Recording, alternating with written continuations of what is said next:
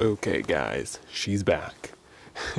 so today I'm going to be explaining to you why I got another Battle Lore by Blind Horse Knives.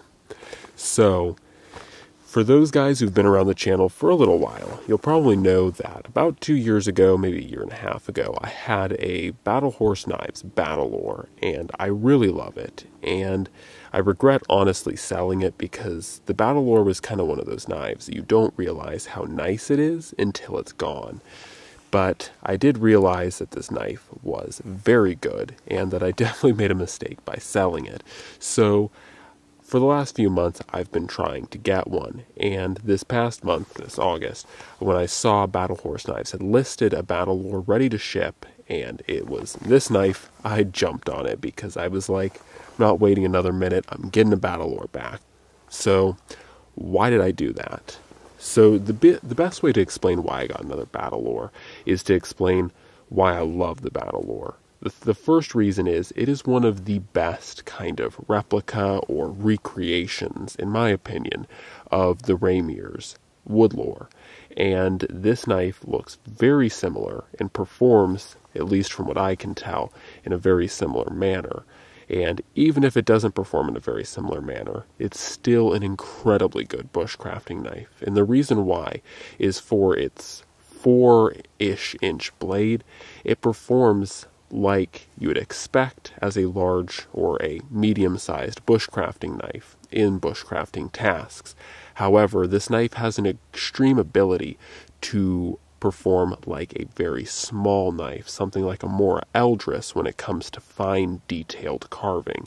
Now, sadly, I, it's very hard for me to show you guys that performance, but trust me, if you do pick up a battle lore, or if you use a battle lore for any time at all, you will find that not only is this knife an extremely good performer on larger tasks, like that I'm showing here, and it can perform with firecraft, it can perform, you know, feather sticks, and all of those standard bushcrafting tasks, but where I think this knife really shines is in the fact that it can cut very small, very fine radiuses. It can cut very small, very fine notches.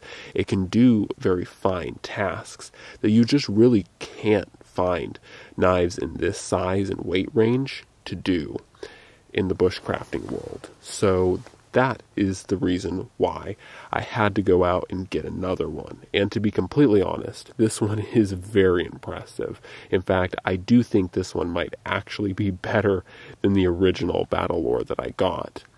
So for the sheath, my original Battle Lore just used a standard sheath that looked like this. However, I decided to go with the dangler because I've always really liked bu- good bushcrafting knives having a dangler sheath. I find it much easier to use around camp and around general, just field.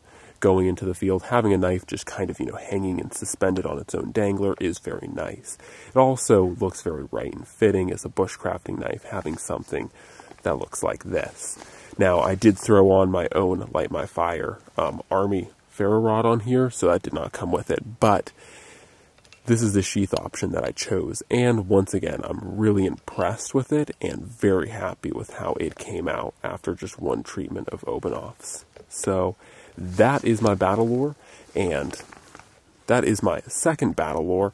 And for me, in my opinion, I really have to say that I go through a lot of knives in bushcrafting and in testing. So for me to actually genuinely want to come back, circle back around and buy this knife again you know, getting this thing back in the collection is very impressive for me because I generally am not that motivated to get another knife that I've already had before. But the Battle Lore is just one of those knives. It's so impressive and it's so effective at what it does in bushcrafting that I had to get another one. So, anyways, guys, hopefully you've enjoyed this kind of look back over the battle lore. Of course, I will be doing more videos with this thing in the future. And as some people say, even though I have a few more knives added to the collection, no, I'm not getting rid of that Chris Reeve knife specific. I love that knife to death. That is my favorite do-all go everywhere kind of general purpose knife. However, I did want to get a very, very task specific bushcrafting knife that I knew I loved and that I knew I was going to continue to love. So that is how I ended up with the Battle Lore.